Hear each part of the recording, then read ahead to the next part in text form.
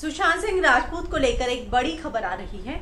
उनकी बहन का बयान जो है पुलिस दर्ज करना चाहती थी, लेकिन उनकी बहन जो है वो नहीं पहुँची है। क्या है पूरी खबर? मैं हीना कुमावत आपको फ़िल्म विंडो पर बताऊँगी। एक खबर आ रही है कि मुंबई पुलिस जो है बैंड्रा पुलिस, सुशांत की जो बहन है, उनसे एक बार और मिलना चाहती थी।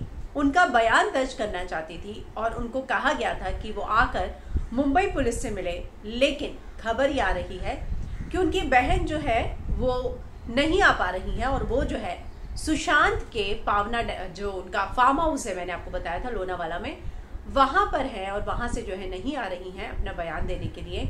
तो कहीं ना कहीं एक बात आ रही है कि पुलिस परिवार के एक शख्स से फिर से मिलना चाहती है। वो चाहते थे कि उनके पिता से एक बार फिर से मिला जा सके या परिवार के किसी एक सदस्य से फिर से मिला जा सके, क्योंकि अभी तक जितनी भी इंक्वायरी हुई है उनको लेकर उनको कुछ डाउट्स थे क्रॉस क्वेश्चंस हैं, कुछ चीज़ों को वो फिर से क्लैरिफाई करना चाहती हैं। लेकिन ये बात सामने आ रही है कि उनकी बहन जो है, वो मुंबई पुलिस से मिलने और अपना बयान दर्ज कराने के लिए नहीं पहुँची हैं। कुछ समय पहले वो पुलिस स्टेशन आई थी और खबर ये आई थी कि वो इस बात को लेकर आई थी ये पूछने के लिए कि क्या सुशांत का घर हम खाली कर सकते हैं? क्या जो है उसका सामान, क्योंकि जिस तरह से मेमोरियल बन रहा है, वहाँ पर भेजना चाहता है परिवार तो क्या भेज सकते हैं?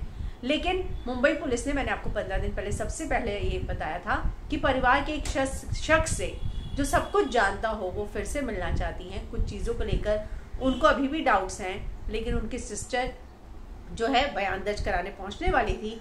ये माना जा रहा है कि आज या कल में वो जाने वाली थी तो दो दिन से इंतज़ार किया जा रहा है, लेकिन नहीं गई।